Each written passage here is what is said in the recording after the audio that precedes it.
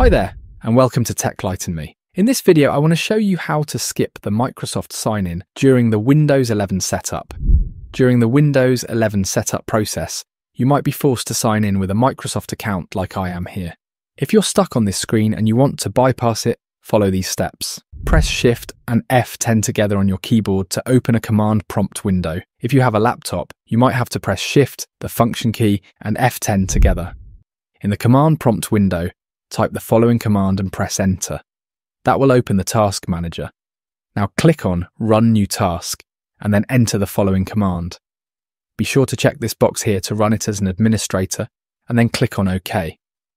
That will open the registry editor. Now you need to navigate to the following path in the registry so you can make changes to the registry keys.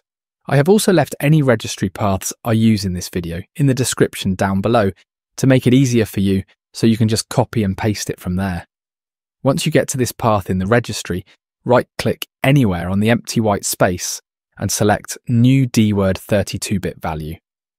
Name this value as shown on screen or check the description of the video and then press enter. Double click on the new entry to open it. Now you need to change the value data as shown on screen and then click on OK.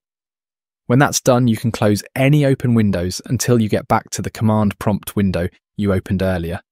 Type the following command as shown on screen and press enter. Once that's done, close the command prompt window.